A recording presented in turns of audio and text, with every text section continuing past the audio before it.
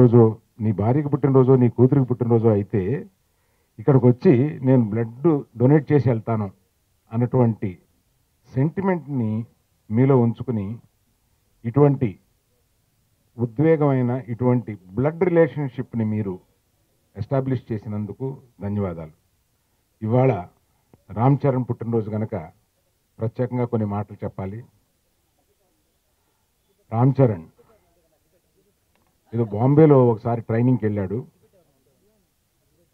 Artist కొడుకు artist అవ్వాలని ఎక్కడా లేదు. టాలెంట్ ఉంటే మాత్రమే అవుతాడు లేకపోతే అవ్వలేదు.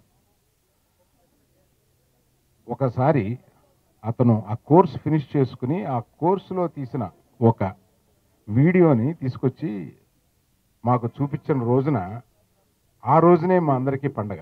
ఎందుకంటే అందరి ఫ్యామిలీ మెంబర్స్ని కూర్చోబెట్టి వీడియో చూపించారు ఇతను తప్పనిసరిగా మంచి యాక్టర్ అవుతాడనే ఆ రోజు నిర్ణయం అయిపోయింది.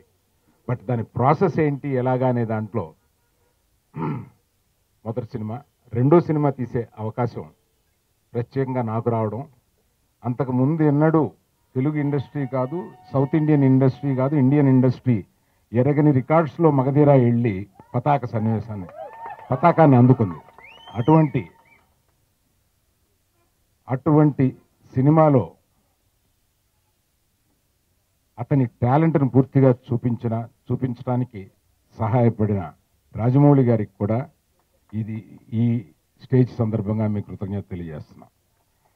సో నేను ఆ సినిమాని తీయడానికి నాకు అవకాశం కలిగించిన చిరంజీవి గారికి దాన్ని అంత చక్కగా చేసిన రాజమౌళి గారికి ధన్యవాదాలు తెలపడమే కాకుండా రామ్ చరణ్ మేము ఊహించినంత విధంగా అందులో బ్రహ్మాండంగా చేశాడు. ఆ తర్వాత అనేక హిట్ సినిమాలు అతనికి వచ్చినాయి.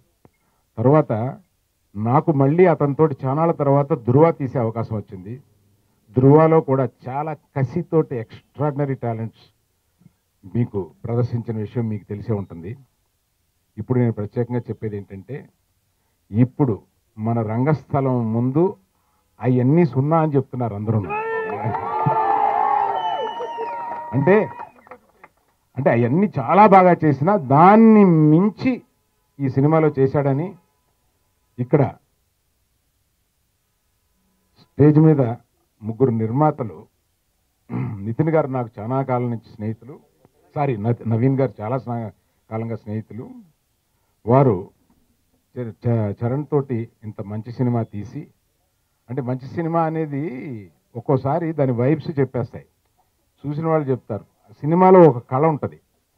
ఆ కళ చెప్పేస్తుంది ఎందుకో ఆడియన్స్ ముందే డిసైడ్ అవుతారు ఇది హిట్ అని. అలాగా ఇది హిట్ అని అందరూ డిసైడ్ అయ్యారు. చూసిన వాళ్ళందరూ కూడా అంటే బహు కొద్ది మంది ఫ్యామిలీ మెంబర్స్లోను తర్వాత వీళ్ళ తరపున నమ్మకం జడ్జిమెంట్ మీద నమ్మకం ఉన్న వాళ్ళు చూసి చెప్పిన దాన్ని బట్టి ఇది తప్పనిసరిగా హిట్ అవుద్దని చెప్పి అందరూ నమ్ముతున్నారు. So it's a very very special happy birthday to you Charan. Happy birthday. ఇక్కడ